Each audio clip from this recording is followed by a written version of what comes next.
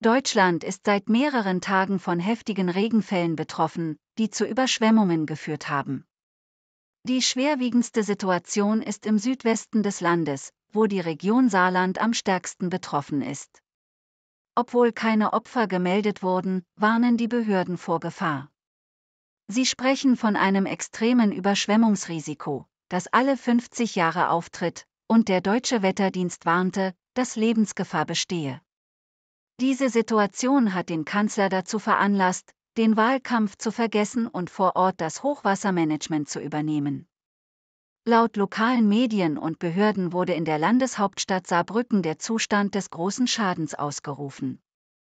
Die Saar ist über die Ufer getreten und mehrere Straßen wurden überflutet und blockiert, darunter auch die Autobahn der Stadt. Menschen mussten aus einigen Gebäuden in diesem Stadtteil evakuiert werden, während das Katastrophenschutzzentrum die Situation als sehr angespannt bezeichnet.